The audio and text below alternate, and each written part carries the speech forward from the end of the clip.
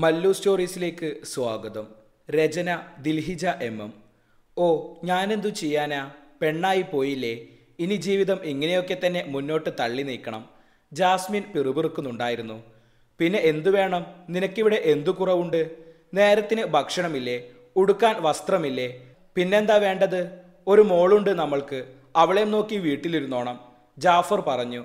ഇതൊക്കെ ഉണ്ടെങ്കിൽ ഒരാൾ സന്തോഷിക്കാനാവും എന്നാണോ ഇക്ക നിങ്ങൾ കരുതുന്നത്? എന്റെ ഇഷ്ടങ്ങൾ അനുസരിച്ച് എനിക്ക് ജീവിക്കേണ്ടേ? ഇപ്പോൾ ഞാൻ ഇക്ക പറയുന്നത് അനുസരിച്ചല്ലേ ജീവിക്കുന്നത്?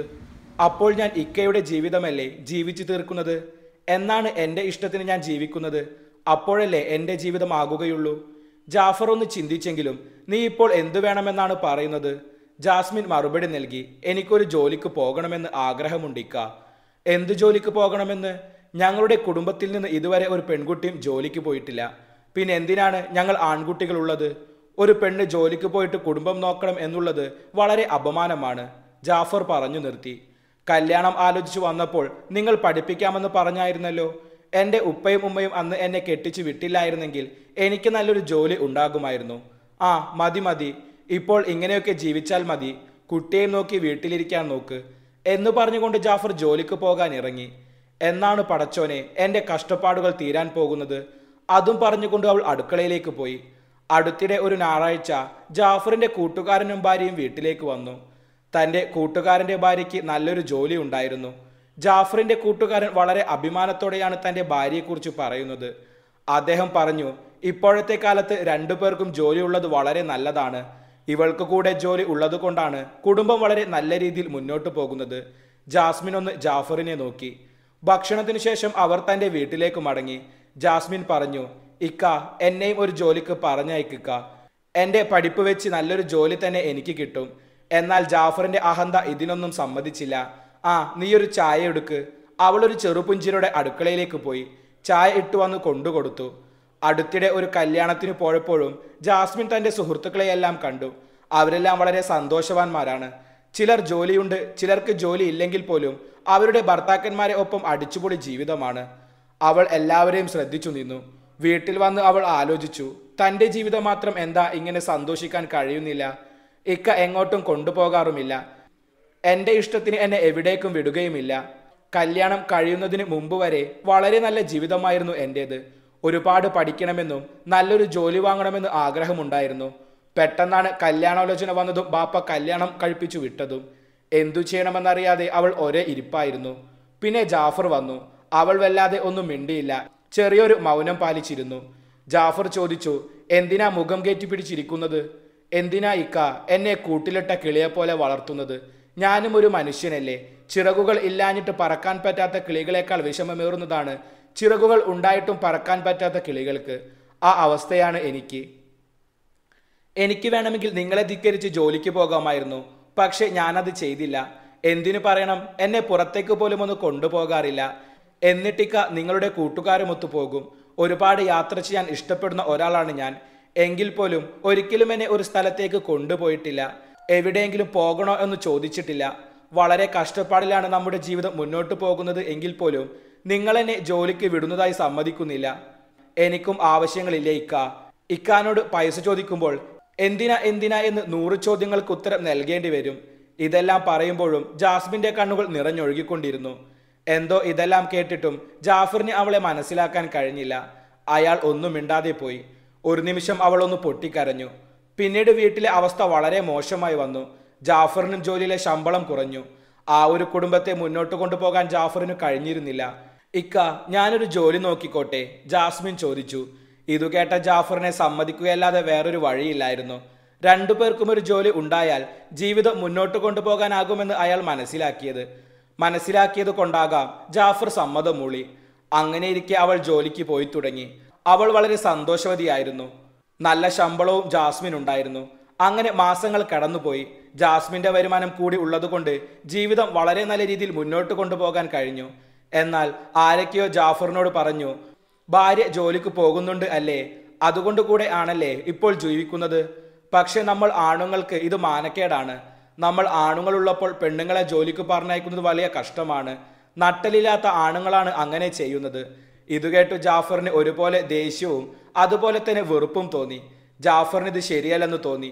വീട്ടിലെത്തിയ ജാഫർ ജാസ്മിനെ വിളിച്ചു ഇനി മുതൽ നീ ജോലിക്ക് പോകേണ്ട. ഇപ്പോൾ വീട്ടിലെ കാര്യമൊന്നും വലിയ കുഴപ്പമില്ല. എന്റെ ഈ ശമ്പളത്തിൽ നിന്നും കിട്ടുന്നത് കൊണ്ടുള്ള ജീവിതമൊക്കെ മതി. നാളെ മുതൽ നീ ജോലിക്ക് പോകണമെന്നില്ല. ഇക്ക എന്തായി പറയുന്നത്? ഇത്രയും കാലം ഞാൻ കൂടെ ജോലിക്ക് പോയിട്ട് അല്ലേ ഇവിടെ നോക്കിയിരുന്നത്? നല്ലൊരു ജോലിയാണിപ്പോൾ. അത് കളഞ്ഞാൽ ഇനി നമ്മുടെ അവസ്ഥ എന്താകും? എനിക്ക് ജോലി വേണ്ടാന്ന് വെക്കാൻ കഴിയില്ല. നമ്മുടെ മക്കളെ ഓർത്തെങ്കിലും ഇക്ക ഇത് വേണ്ടെന്ന് വെക്കാൻ പറയരുത്. പറഞ്ഞിട്ടും കാര്യമില്ല. ഞാൻ ഈ ജോലിക്ക് പോവുക തന്നെ ചെയ്യും.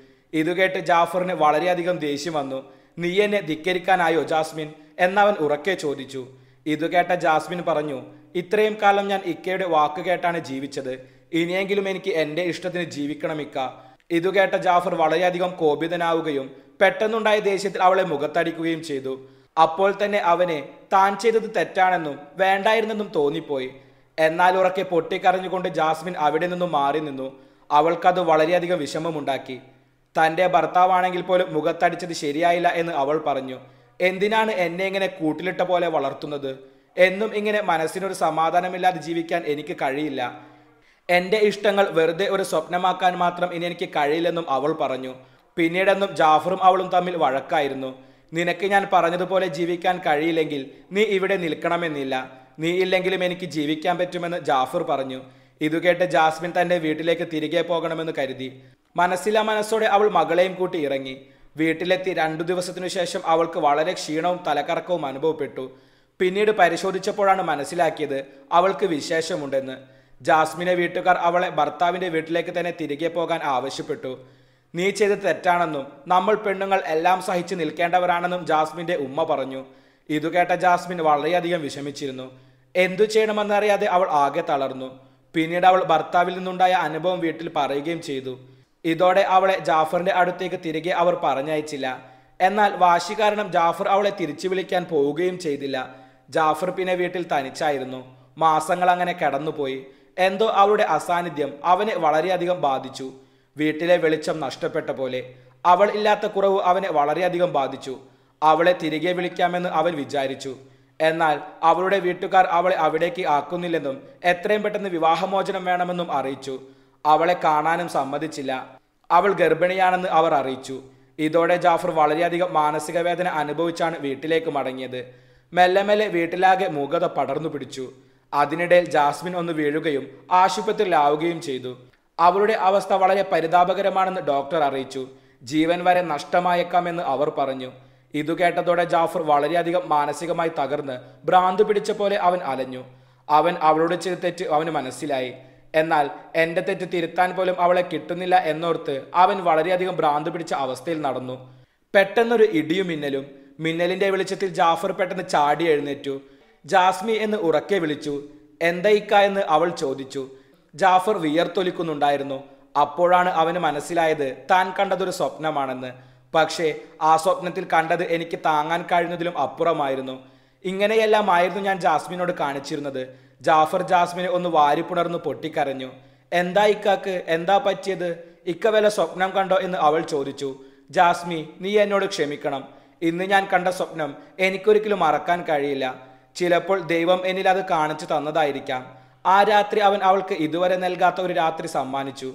പിറ്റേ ദിവസം ജാഫർ ജാസ്മിനോട് പറഞ്ഞു ജാസ്മിൻ ഇത്രയും കാലം ഞാൻ നിന്നോട് എങ്ങനെയാണ് കാണിച്ചിരുന്നത് എന്ന് ഞാനിനി ഓർക്കുന്നില്ല. പക്ഷേ ഇനി മുതൽ നിനക്ക് ഇഷ്ടമുള്ളതുപോലെ ആയിരിക്കണം നിന്റെ ജീവിതം. നിനക്കൊരു ജോലിക്ക് പോകാൻ ആഗ്രഹമുണ്ട്. നീ എപ്പോഴും പറയാറില്ലേ നമുക്കുടനെ ഒരു ജോലി നോക്കാം. അതുപോലെ നമുക്കിനി കുറെ യാത്രകൾ പോകണം. ഇക്കാക്കിത് എന്തു പറ്റി അവൾ ചോദിച്ചു. ചിലർക്കെങ്കിലും വൈകിയാണ് ഒരു ബോധോദയം ഉണ്ടാകുന്നത് ജാഫർ പറഞ്ഞു. എനിക്കും ഉണർവ് വരാൻ കുറച്ച് വൈകി. നീയാണ് എന്റെ എല്ലാം ജാസ്മിൻ. നിന്നെ ഞാൻ ഒരു സ്ഥലത്തും കൊണ്ടുപോയിട്ടില്ല. നിന്റെ ഇഷ്ടം എന്താണെന്ന് അന്വേഷിച്ചിട്ടില്ല. എന്നിട്ടും ഒരു പരാതിയില്ലാതെയാണ് നീ സഹിച്ചത്. എന്ന് പറയുമ്പോൾ ജാഫറിന്റെ കണ്ണുകൾ നനവേറ്റിരുന്നു. ജാസ്മിൻ അദ്ദേഹത്തെ കെട്ടിപ്പിടിച്ചു.